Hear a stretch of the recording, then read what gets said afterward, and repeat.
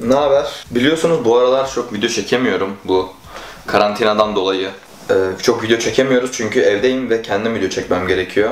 Ve uzun süredir kendim içerik üretmediğim için birazcık zorlanıyordum bu konuda. O yüzden sık video atamıyorum.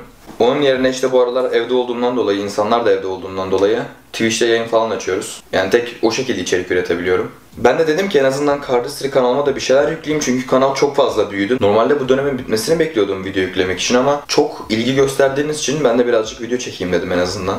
Bu video uzun bir video olmayacak ama şunu söyleyeyim yani zaten ne olduğunu belki başlıktan anlamışsınızdır. Ne yazacağım hakkında bir fikrim yok şu anlık.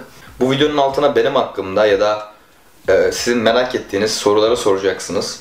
Ben de aralardan soruları seçeceğim ve önümüzdeki hafta yükleyeceğim videoda yani önümüzdeki hafta yükler bilmiyorum da 7 ile 9 gün arası işte. Bugün 2 Mayıs 2020.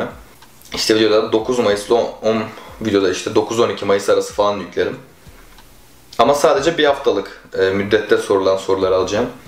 İşte bana sorduğunuz sorulardan birkaç tanesini seçeceğim ve üzerinde konuşmak istediklerim hakkında sizle işte konuşacağım belki. Bilmiyorum ya. Çok fazla çünkü soru geliyor falan filan. Ben de hepsine cevap vermiyorum. E, veremiyorum. Böyle bir şey olur dedim. Değil mi? Bence güzel olur. Kamera karşısında Cardistry dışında pek bir şey yapmadığım için birazcık şu an çıplak hissettim kendimi. Çok savunmasız hissediyorum. Ve kendi kendine video çekmek gerçekten çok zor. O zaman adettendir bir videoyu kapatırken ah, kameraya deste basalım değil mi? Normalde hani videoların sonunda derim ya hareket hakkında yapamadığınız bir şey olursa Instagram'dan sorabilirsiniz diye. Şu an herhangi bir hareket öğretmedim ve bu bana birazcık ilginç geliyor yani. Benim iç dünyamın derinliklerine indiğimiz bir video oldu. Demek istediğimi anlamışsınızdır kısaca yani bana soru soracaksınız ben de soruları cevaplayacağım falan. YouTube'da böyle içeriklerden yüzlerce karşınıza çıkmıştır daha önce. Normalde çok alışılagelmiş şeyleri ben yapmayı sevmem. Bu da çok alışılagelmiş bir şey ama şu an evde üretebileceğim en iyi içerik bu. Zaten üzerinde çalıştığım, tutorial vereceğim hareketler var. Onlar da biraz daha iyi hale gelmek istiyorum. Ki ekibi topladığımız zaman en azından daha iyi video çekebiliriz. Anladınız mı?